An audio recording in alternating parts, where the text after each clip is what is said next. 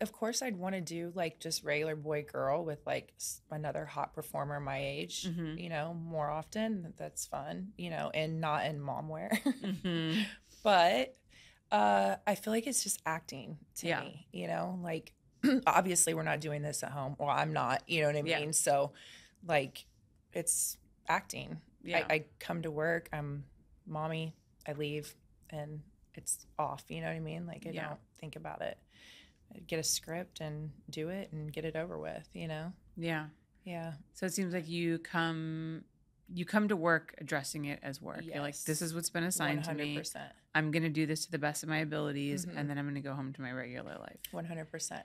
But you find that more and more these days, even older guys, like they have a lot of, I don't know whether it's a mommy issue uh, from home, I don't Mhm. know, or if they were just like a mama's boy or whatever the case may be. But even when they're older, they still like that mommy, you know, that nurturing. Mm-hmm. So it's kind of like, I don't know, Yeah.